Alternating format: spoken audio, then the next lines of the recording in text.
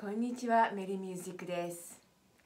曲は進撃の巨人のテーマ曲から簡単に弾ける楽譜と鍵盤の上の指の場所のビデオはこちらのビデオの中にあります。楽しんでください。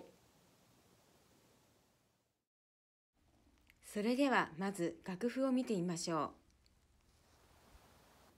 う。楽譜は2枚あります。こちらが最初のページです。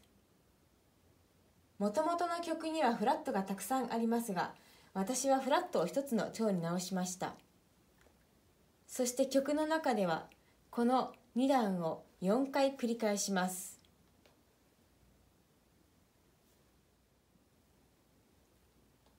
楽譜は私たちのウェブサイトから自由に無料でダウンロードできます。